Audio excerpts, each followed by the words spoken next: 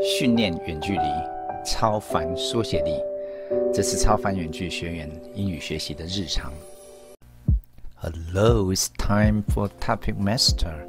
Our theme this week is childhood. It is the time when we begin to learn a lot of simple but important things in our life. Let's quickly take a look at the first question. Do you think you have a happy childhood? Why or why not? Explain with an example. Having a happy childhood is a wonderful thing. When you were little, you felt happy and you saw people around you laugh to each other but not shout at each other. You had a very good start of your life. So please give an example to tell people why you were happy in your childhood. On the other hand, if you don't have a happy childhood, tell people what happened to you when you were little.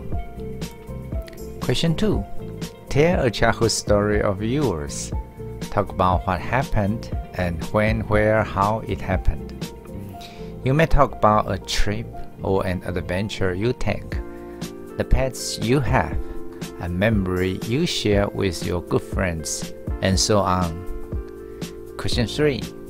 What was your childhood dream? For example, many children want to be doctors or scientists when they grow up. Well, parents often tell their children to be a successful person. For example, a doctor, a scientist, or even the president. Our children may hope to be a superhero after watching TV or movies. What is your childhood dream? Share with others. Question 4. What is your best childhood memory? How does it affect you or change you? This question is much like question 2, but maybe it's not a story, but a thing that you enjoy doing, a person you enjoy being with, or a dog you enjoy playing with as a child. Talk about how it affects you or changes you. Question 5. What is your worst childhood memory? For example, you got lost or you were punished. Question 4 is about something memorable that happened to you when you were little, while question 5 is about something terrible that happened to you when you were little.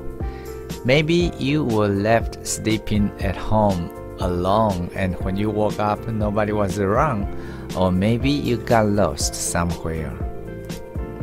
Question 6 Who do children usually learn the most from? Explain with your example. Children learn from people around them, including grandparents, parents, sisters, brothers, relatives, teachers, classmates, friends, and so on. Who do you think is the one that children learn the most from? You can talk about your personal experience. Question 7. What did you usually hope your parents to do or not to do when you were little? When you were little, you might have a lot of strange ideas.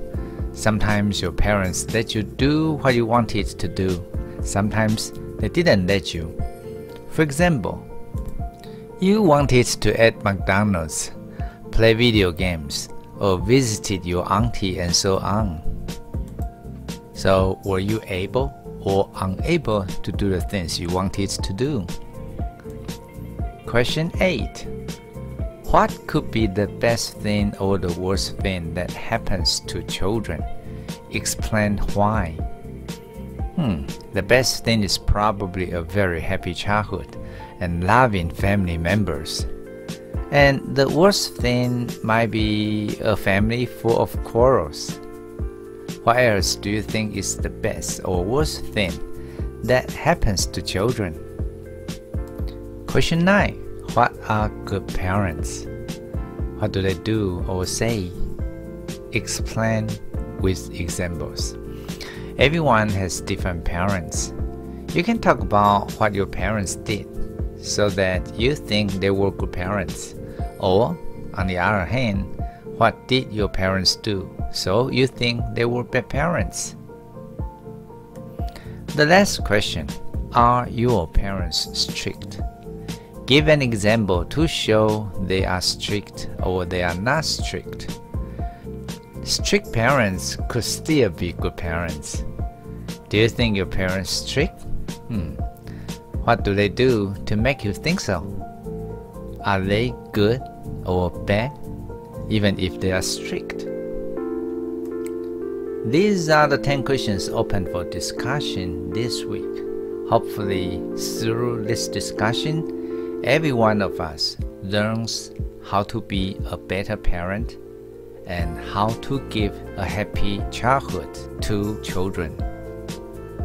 加入超凡远距，成就超凡英语说写能力。